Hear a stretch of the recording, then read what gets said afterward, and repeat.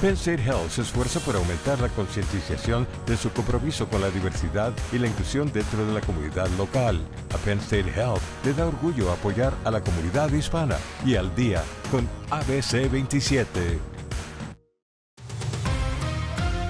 Este es Al día con ABC 27, el único noticiero digital de Pensilvania Central. Muy buenos días, te acompaña Seth Kaplan. Los peajes de autopista no cobrados el año pasado subieron a, 155 millones de dólares. Ahora un senador estatal está impulsando por un proyecto de ley para recaudar ese dinero. De los 200 millones de conductores que viajaron en el autopista el año pasado, 14 millones, aproximadamente entre 6 y 8% no pagó sus peajes.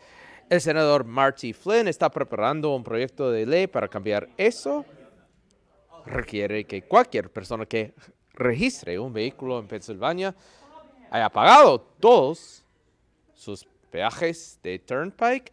En una declaración, la comisión dijo que, en parte, entre comillas, agradece la consideración de la Asamblea General en este proyecto de ley que ayudaría a comenzar los esfuerzos de colección más temprano que tarde. El único obstáculo, la legislación no se aplica a quienes viven fuera del estado. Más noticias a continuación. Penn State Health se esfuerza por aumentar la concientización de su compromiso con la diversidad y la inclusión dentro de la comunidad local. A Penn State Health le da orgullo apoyar a la comunidad hispana y al día con ABC 27. Un proyecto en la Asamblea General de Pensilvania está tratando de prevenir liberaciones de globos. Prohíbe a cualquier persona mayor de 13 años soltar globos intencionalmente. Los patrocinadores del proyecto de ley dicen que soltar globos es dejar basura y que los animales, especialmente los animales marinos, eh, a menudo se lesionan o mueren después de eh, enredarse en las cuerdas o comer globos.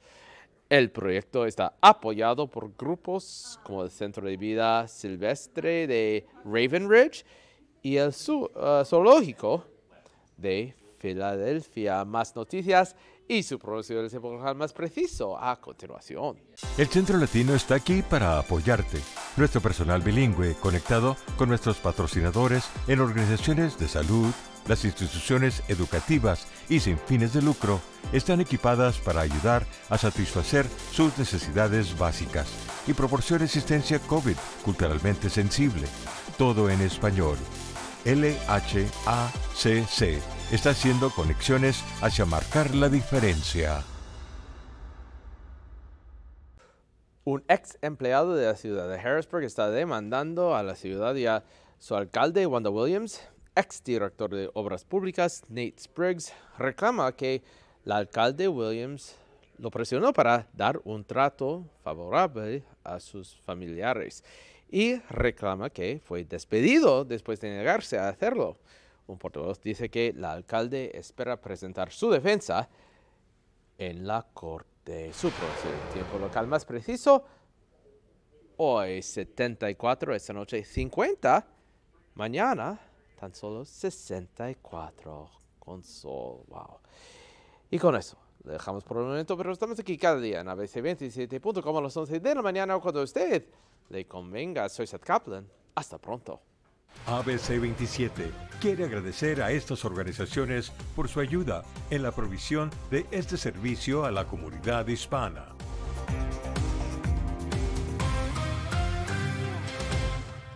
La población hispana de los Estados Unidos alcanza el 62.1 millones en el año 2020. Es el 19% de todos. También es uno de los grupos de más rápido crecimiento, el 5% de la población de los Estados Unidos. La población hispana ha crecido más de seis veces. ABC 27 celebra el mes de la herencia hispana y nos da orgullo apoyar a las comunidades hispanas locales de Pensilvania Central.